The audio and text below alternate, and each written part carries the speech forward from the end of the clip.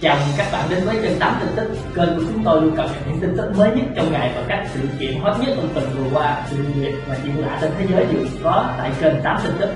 Và hai bản tin ngày hôm nay của chúng tôi có Rồi, chào mừng các bạn đến với kênh 8 tin tức. Bản tin ngày hôm nay của chúng tôi có nội dung mẹ của nữ sinh giao gà bà Trần Thị Hiền có thể bị oan và bị nhóm của vì văn toán vu khống cho tội tàn tử chế phép chất ma túy sau bản tin sau đây. Đó là bằng chứng gì khiến mẹ nữ sinh giao gà và người thân gào thét kêu oan. Bị cáo Trần Thị Hiền và cả nhà bị cáo kêu an khi nhận mức án 20 năm tù về tội mua bán trái phép chất ma túy. Vậy bằng chứng gì khiến mẹ nữ sinh giao gà và người thân lại kêu an mạnh đến như vậy?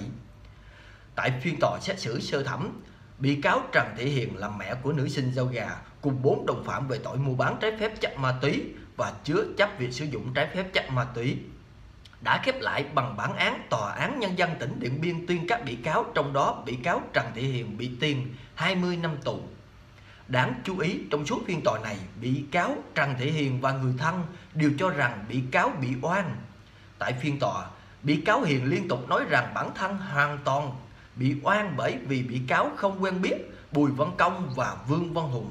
Đồng thời khẳng định mình không thực hiện hành vi mua bán trái phép chất ma túy. Và bị cáo Hiền cũng cho rằng các bị cáo khác đã bàn bạc âm mưu để hãm hại mình, có âm mưu giết hại con gái mình nên đã khai không đầy đủ và thành khẩn trước cơ quan điều tra và tòa án. Khi lời nói sau cùng, bà Hiền mong tòa án nhân dân tỉnh Điện Biên trả hồ sơ điều tra bổ sung để minh oan cho bị cáo. Tại tòa, con gái của bị cáo Hiền là chị Cao Thị L khóc lớn liên tục nói Mẹ tôi bị oan mà Chứng cứ như vậy rồi sao còn kết tội mẹ tôi nữa? Trước đó ông Cao Văn Hường sinh năm 1970 là chồng của bị can Trần Thị Hiền Vẫn cho rằng vợ mình là Trần Thị Hiền không mua bán trái phép chất ma túy. Tuy nhiên, đại diện Viện Kiểm soát khẳng định dù bị cáo Trần Thị Hiền chối tội nhưng các bị cáo khác đã thừa nhận hành vi phạm tội. Viện Kiểm sát thấy hoàn toàn có đủ căn cứ xác định năm bị cáo đã mua bán trái phép chất ma túy với nhau. Sau phiên tòa, gia đình bị cáo Trần Thị Hiền nói rằng bà Hiền sẽ kháng cáo bản án sơ thẩm của Tòa án Nhân dân tỉnh Điện Biên. Và bằng chứng để khiến cho cả nhà bị cáo Trần Thị Hiền kêu oan đó là trao đổi với phóng viên, luật sư Giang Hồng Thanh, văn phòng luật sư Giang Thanh cho rằng việc bà Hiền và người thân kêu oan do chứng cứ buộc tội duy nhất đối với bị cáo Hiền là dựa vào lời khai của bị cáo Bùi Văn Công và Vương Văn Hùng. Còn trong biên bản nhận dạng, biên bản đối chất nhưng các chứng cứ này cũng từ Bùi Văn Công và Vương Văn Hùng mà ra thôi. Tuy nhiên, bị cáo Vương Văn Hùng chỉ tham gia ở giai đoạn sau là cùng Công đi giao ma túy cho Hiền, chứ không có mặt ở giai đoạn đầu khi Công thỏa thuận bán ma túy cho Hiền. Do vậy, việc mua bán ma túy chỉ có Công và Hiền biết mà thôi. Còn tại điều 86 của Bộ luật tố tụng hình sự, chứng cứ chỉ được coi là hợp pháp nếu có đầy đủ ba thuộc tính như thế này. Đó là tính khách quan, tính liên quan và tính hợp pháp. Nếu thiếu một trong ba thuộc tính này, chứng cứ không còn giá trị nữa. Và luật sư Giang Thanh đã đặt câu hỏi, sử dụng lời khai của hai người đang có xung đột nghiêm trọng về quyền lợi đối với bà Hiền làm chứng cứ buộc tội bà Hiền, thì có thể được coi là đáp ứng thuộc tính khách quan hay không? bởi công hùng là những kẻ đã bắt cóc hãm hiếp giết hại con gái bà hiền bà hiền căm thù đến xương tỷ nay lại được hỏi để chống lại bà hiền thì có phải phù hợp hay không? Luật sư thanh cũng ra nhiều điểm mâu thuẫn trong lời khai của các bị cáo. Như theo đó công khai đã gặp bà hiền một lần vào tháng 5 năm 2017 để mua. Bán thành công hai bánh heroin nhưng lại nhớ chi tiết bà Hiền mặc áo gì, quần gì, đeo dây chuyền, đi xe máy màu gì, đó là rất phi lý. Bởi ngay tại tòa, Công không nhớ nổi đến ngày 30 Tết, thời điểm bắt cóc Duyên thì Công đã mặc quần áo gì hay ngày 28 Tết Công có va chạm xe ô tô với người khác, Công đã mặc quần áo gì. Ngay việc Công khai Hiền đặt mua 4 bánh heroin với giá 160 triệu đồng một bánh, tương đương 640 triệu đồng cho 4 bánh Tuy nhiên, chỉ mua được hai bánh từ thu nên mang bán cho Hiền và Hiền đã trả 290 triệu đồng cho và cho nợ. Tuy nhiên nếu công thỏa thuận bán 4 bánh thì Hiền phải mang 640 triệu đồng bởi Hiền không thể biết công có hai bánh mà chỉ mang số tiền tương đương với hai bánh mà để công được. Bên cạnh đó, hồ sơ vụ án cũng đã thể hiện công khai bà Hiền đến nhà công hỏi mua gà rồi sau đó bà Hiền hỏi mua luôn ma túy. Nhưng tại phiên tòa công lại nói công không bao giờ bán gà, chỉ duy nhất một lần bán lợn cho vị thị thu. Vậy thì bà Hiền đến nhà công để làm gì? Và tại sao biết nhà công mà đến? Tại sao biết công có bán heroin mà bà Hiền tìm đến? Lần đầu tiên gặp nhau Hiền đã hỏi mua ma túy của công. Đó, có vô lý hay không? Tương tự việc công biết nhà bà Hiền nhưng tại sao lại không giờ đến nhà đòi 30 triệu đồng nợ ma túy ở trước đó mà hai năm sau khi bị bắt vì giết hại công Mỹ Duyên công lại nói là hiền nợ tại phiên tòa công lại nói rằng công biết tiền 30 triệu đồng đó là tiền phạm pháp nên công không đòi. Tuy nhiên trong hồ sơ và tại phiên tòa công lại khai rằng tham gia bắt cóc Duyên để đòi 30 triệu đồng cho chính mình và 300 triệu đồng cho tên toán. Trong khi đó Việc công khai địa điểm giao ma túy giữa đường vào tháng 5 năm 2017 cũng được cho là phi lý bởi không ai mua bán. 700 gram ma túy giữa thanh thiên bạch nhật như vậy.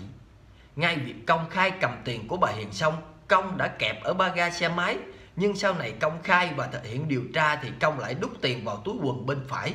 Tuy nhiên, 290 triệu đồng là 580 tờ tiền mệnh giá 500.000 đồng. Vậy có thể đút toàn bộ số tiền này vào một túi quần như lời cai của công được hay không các bạn có thấy vô lý hay không ngoài việc tại phiên tòa thu thay đổi lời khai cho rằng bị ép cung nên mới phải nhận là mua bán hai bánh heroin với công cũng là tình tiết cần để xem xét vậy điểm mâu thuẫn trong lời khai của vị văn toán đã chứng tỏ một điều như thế này luật sư lê hồng diễn đoàn luật sư thành phố hà nội cũng đã chỉ ra những quan điểm chưa chính xác trong quá trình khai trước cơ quan điều tra của các đối tượng trong vụ án theo đó, việc công khai mua của bà Thu hai bánh heroin với giá 300 triệu đồng và bán cho bà Hiền với giá 320 triệu đồng.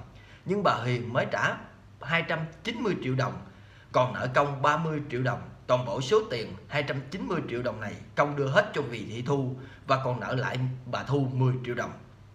Điều này có nghĩa là công chưa cầm vào đồng nào, chưa được lại ở đồng nào. Ừ, lại vô lý thì một điểm nữa.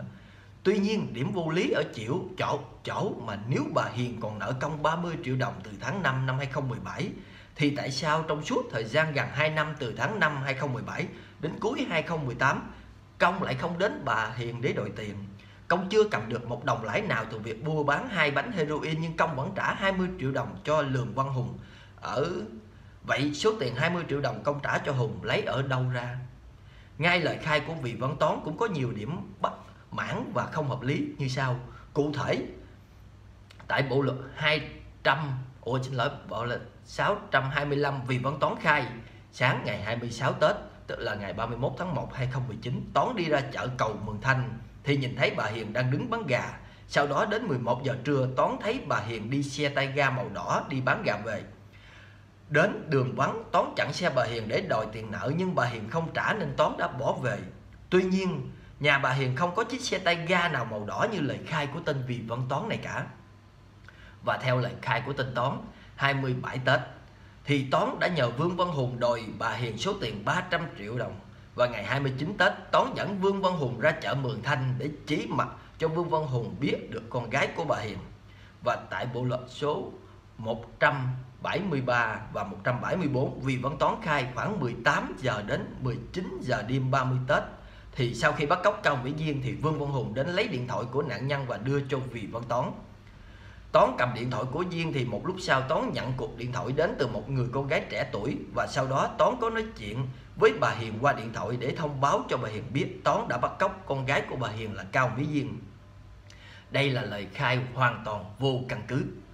Và báo cáo chi tiết lịch sử liên lạc, cơ quan điều tra đã thu thập được từ nhà mạng thì số thuê bao 03987 06474 của Cao Mỹ Duyên không hề có bất cứ cuộc điện thoại nào gọi đến vào thời điểm từ 18 giờ đến 19 giờ như lời khai của tên Toán này.